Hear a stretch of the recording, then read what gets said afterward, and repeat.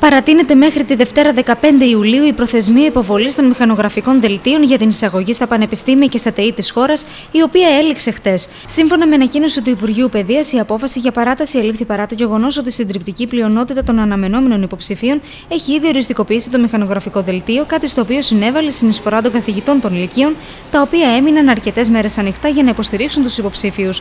Για τις ελάχιστες περιπτώσεις υποψήφιων που για κάποιο λόγο δεν τήρησαν την προθεσμία, σημειώνεται στη σχετική ανακοίνωση ανακοίνωση του Υπουργείου δίδεται παράταση υποβολής των μηχανογραφικών δελτίων γενικών λυκείων και επαγγελματικών λυκείων μέχρι και τη Δευτέρα 15 Ιουλίου 2013 και ώρα 2 και μισή το μεσημέρι στην ίδια ηλεκτρονική διεύθυνση exams.minedu.gov.gr όπου οι υποψήφοι μόνοι τους θα οριστικοποιήσουν το δελτίο τους.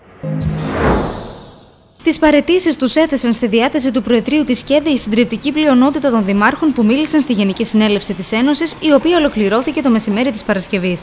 Η συνέλευση διεξήχθη σε τεταμένο κλίμα μετά τα προβλεπόμενα για την τοπική αυτοδιοίκηση στο πολυνομοσχέδιο του Υπουργείου Οικονομικών, που έρχεται προ ψήφιση την ερχόμενη εβδομάδα στη Βουλή.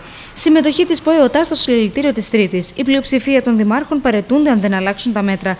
Δευτέρα, Τρίτη και Τετάρτη θα είναι κλειστοί όλοι οι Δήμοι εκτός της καθαριότητας, σύμφωνα με την τελική απόφαση της ΚΕΔΕ. Ωστόσο, οι εργαζόμενοι στην καθαριότητα έχουν προγραμματίσει δικές τους κινητοποιήσεις για εκείνες τις τρεις ημέρες. Φορολογικά ενήμεροι θα πρέπει να είναι οι δανειολήπτες που θέλουν να ενταχθούν στις ρυθμίσεις του νόμου για τα ενυπόθηκα δάνεια, όπως προβλέπει η εγκύκλωση του Υπουργείου Ανάπτυξης.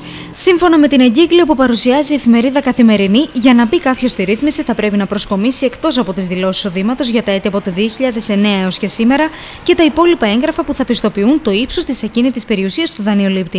Η εγκύκλιο που φτάνει τη Δευτέρα στις τράπεζες θα ενεργοποιήσει τη διαδικασία της υποδοχής των αιτήσεων των οφειλετών με χρέη προς τις τράπεζες έως 150.000 ευρώ και σύνολο ακίνητης περιουσίας που δεν ξεπερνά τις 250.000 ευρώ, 300.000 ευρώ για τρίτεκνους και πολίτεκνου. Αλλεπάλληλε συσκέψει, συναντήσεις υπουργών με γαλάζια και πράσινα στελέχη και εξάντληση των περιθωρίων που υπάρχουν στο πολυνομοσχέδιο είναι η στρατηγική που ακολουθεί η κυβέρνηση προκειμένου να καμφθούν οι αντιδράσεις που υπάρχουν στις κοινοβουλευτικές ομάδες της Νέας Δημοκρατίας και του Πασόκ. Το πολιτικό μασάζ στους διαφωνούντες βουλευτές των δύο κομμάτων που στηρίζουν την κυβέρνηση θα συνεχιστεί μέχρι και την Τετάρτη, ημέρα κατά την οποία θα τεθεί σε ψηφοφορία το πολυνομοσχέδιο. Στα δύο κομματικά επιτελεία επικρατεί έντονος προβληματισμός, καθώς η μείωση του δημοσίου αποτελεί προαπαιτούμενο για τη δόση. Ήδη η Άγγελα Μέρκελ, λίγες ημέρες πριν την άφηξη Σόιμπλε, έστειλε ξεκάθαρο μήνυμα προς την κυβέρνηση για το θέμα των απολύσεων. Παράλληλα, η Γερμανίδα Καγκελάριο και ο Γερμανός Υπουργός Οικονομικών δήλωσαν αντίθετη για νέο κούρεμα του ελληνικού χρέους.